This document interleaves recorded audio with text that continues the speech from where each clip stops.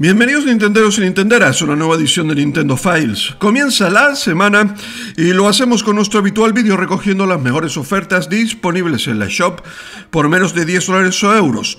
Repasemos un Metroidvania, un RPG de cartas, un RPG clásico, con cría de monstruos, plataformas, survival horror y mucha acción. Se dan cita en nuestra selección del día de hoy. Como siempre, espero sus propias recomendaciones en la caja de comentarios. Recuerden que estas ofertas tienen fecha de caducidad, por lo que deberían suscribirse y darle a la campanita para recibir un aviso cada vez que publique un vídeo de este tipo. Siéntense, relájense, quédense hasta el final y comenzamos.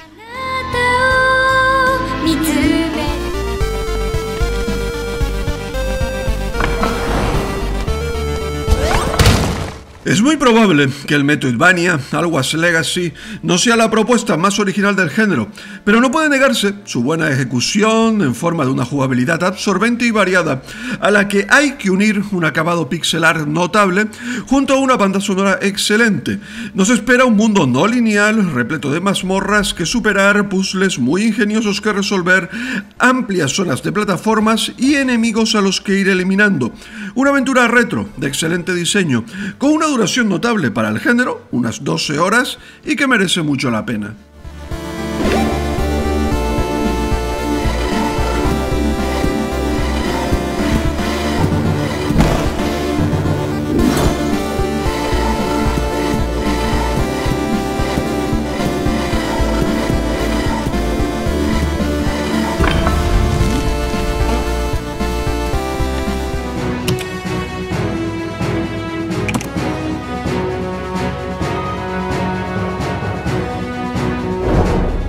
De la mano de esa fábrica de producir JRPGs, que es Kemco, Monster Aviator nos propone vivir las aventuras de Coulter, un viajero incapaz de recordar quién es, pero con la capacidad de comunicarse con los monstruos. Monstruos que nos acompañarán, hasta un total de 20, a lo largo de unas andanzas teñidas de ese sabor clásico de los JRPG de 16 bits.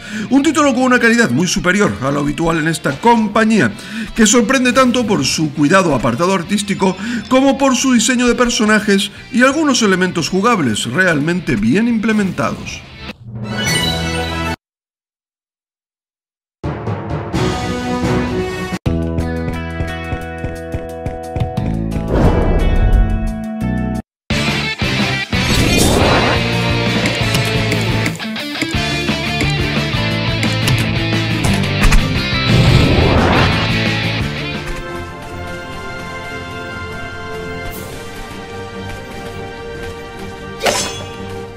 Steamwall Quest Hand of Gilgamesh es un spin-off de la serie Steamwall, que en esta ocasión apuesta por el rol y las cartas coleccionables.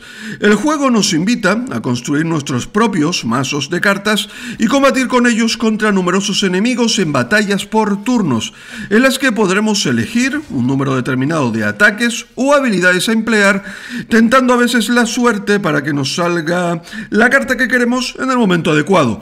Por supuesto, nos encontraremos con múltiples elementos de fantasía tradicional que se mezclarán con robots para crear una experiencia muy particular, con un bellísimo apartado artístico, una historia cargada de humor y muchos, muchos combates que librar en su mundo de fantasía.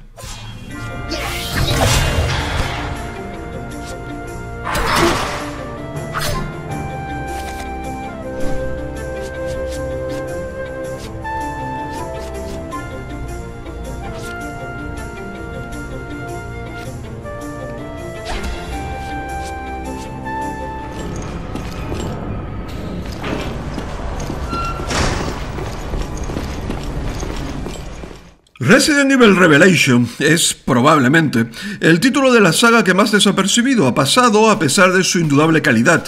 Se trata de un juego de terror y acción en tercera persona que después de la acción frenética por la que había apostado la saga en sus últimas entregas hasta la fecha, intentaba encontrar un equilibrio entre lo clásico y lo moderno. Además, la versión para Switch cuenta con añadidos interesantes como control por movimiento o vibración HD, a lo que hay que sumar un acabado gráfico notable a 60 frames por segundo y todo ello traducido y doblado al español.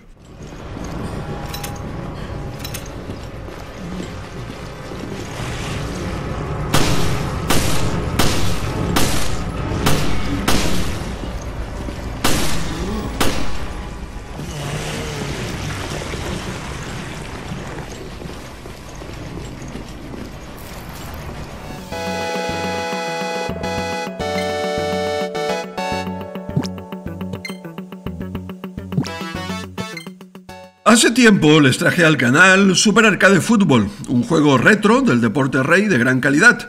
Y esta semana les ofrezco otro título de los mismos autores que cambian el soccer por las carreras en perspectiva aérea, pero manteniendo ese toque gráfico de 16 bits.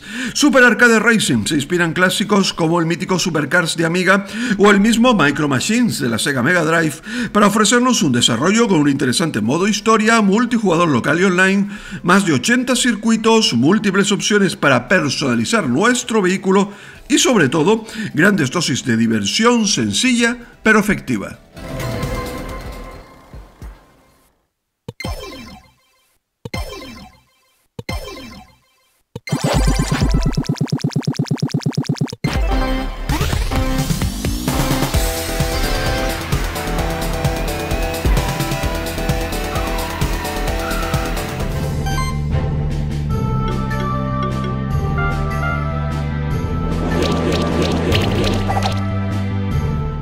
Monster Sanctuary es un juego que consigue fusionar dos géneros cuya mezcla parecía, a priori, imposible, Metroidvania y Pokémon. Como Metroidvania, la sensación de exploración, descubrimiento y backtracking está muy bien conseguida, disfrutando mucho de las habilidades que vamos ganando a medida que capturamos monstruos. En cuanto a su faceta Pokémon, los combates en grupo se hacen muy interesantes, pero donde más brilla el juego es en las posibilidades de desarrollo de nuestras criaturas mediante un árbol de habilidades y objetos con los que podemos equiparlos. Para más información, les aconsejo ver el análisis disponible en este mismo canal.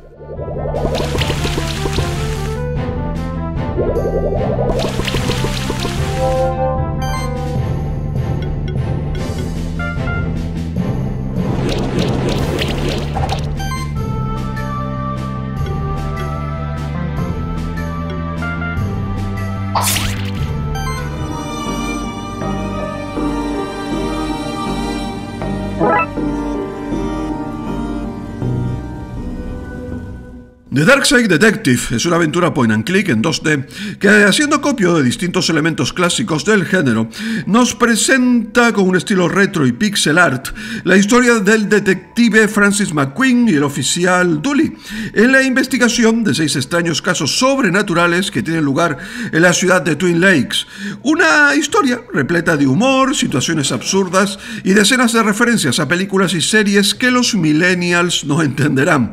Por cierto, está disponible en español.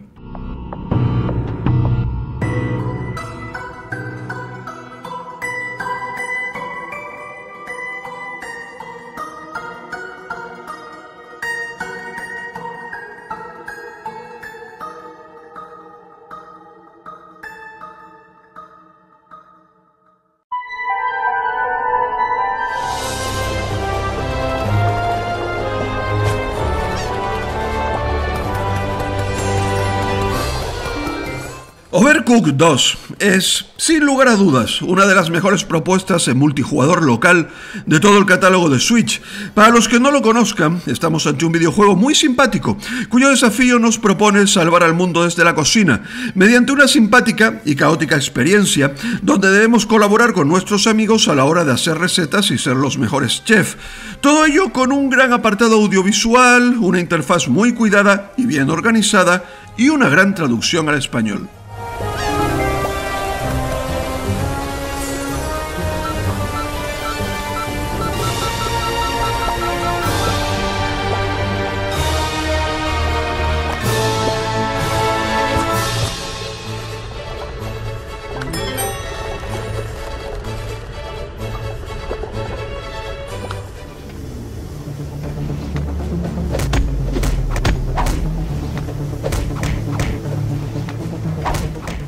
Dex es un juego de rol de estilo cyberpunk, en el que adoptamos el papel de una misteriosa chica de pelo azul, la cual está siendo perseguida por una poderosa y enigmática organización que va detrás de sus habilidades únicas.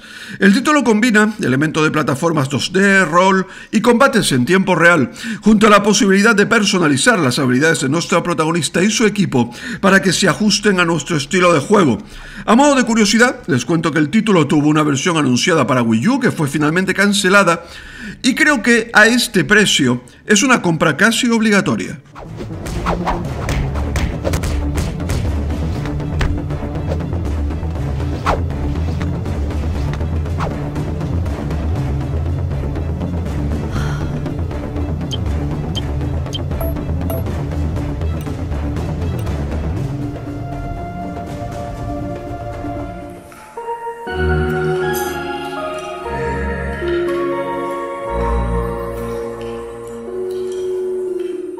Dungeon of the Endless es un juego de acción y estrategia para hasta 4 jugadores que vio la luz en PC hace más de 5 años, planteando una interesante combinación de géneros, roguelite, dungeon defense y una estética pixel art muy notable.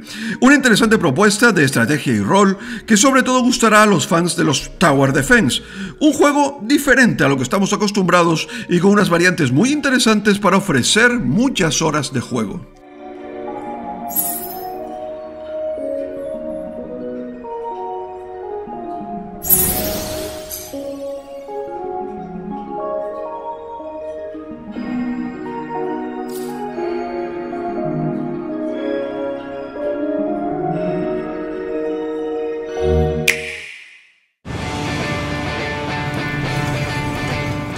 Y con esto damos por terminado nuestro vídeo del día de hoy, una nueva selección de algunos de los mejores juegos en oferta que pueden comprar en la shop de Nintendo Switch, esta vez por menos de 10 dólares o euros.